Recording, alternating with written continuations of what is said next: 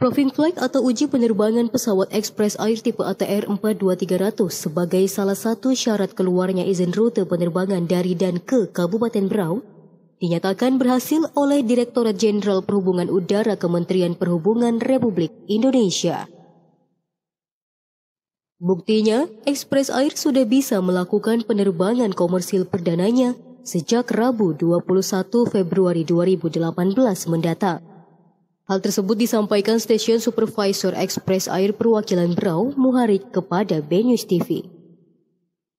Dikatakannya untuk rute penerbangan dari dan ke Berau, pihaknya menyediakan 45 tempat duduk atau seat yang melayani penerbangan Berau Samarinda dan Berau Tarakan. Di mana keberangkatan dari Bandara Kalimarau ke Bandara Temendung, Kota Samarinda, dilakukan setiap Senin, Rabu, Jumat, dan Minggu pada pukul 7.15 waktu Indonesia Tengah dan pukul 13 lewat 5 waktu Indonesia Tengah untuk rute Bandara Kalimarau, Bandara Juwata, Kota Tarakan.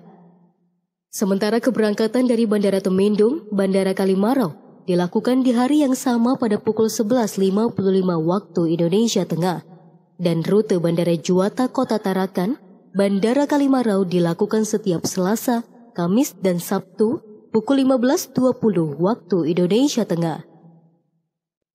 Terkait tarif penerbangan, Muharik mengatakan pihaknya saat ini akan menerapkan tarif komersil di kisaran Rp900.000.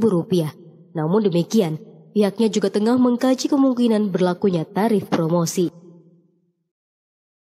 Untuk pemesanan tiketnya dapat dibeli di bandara dan untuk traveloka masih dalam proses dan ada pun travel untuk di Brau seperti Tri Abarsi, Ambar Lestari, PT Mulia, Transport Neo Jaya dan beberapa travel lain. Itu pesanan di bandara bisa menghubungi langsung di 085 255 145 344. Untuk ke depannya juga kami punya planning untuk menerbangi Brau dan Maratua.